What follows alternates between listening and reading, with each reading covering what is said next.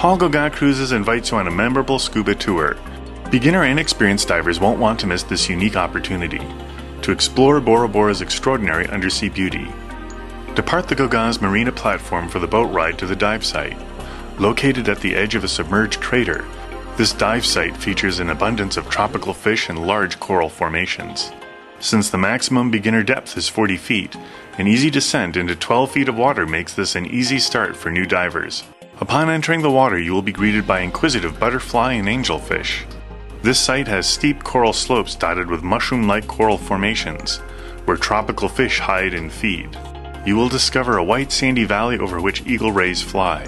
You may even see a gigantic Javanese moray eel. You will also want to keep a lookout for big triggerfish, clownfish, and sea anemones. Following your dive, you will be returned to the Gauguin's Marina platform.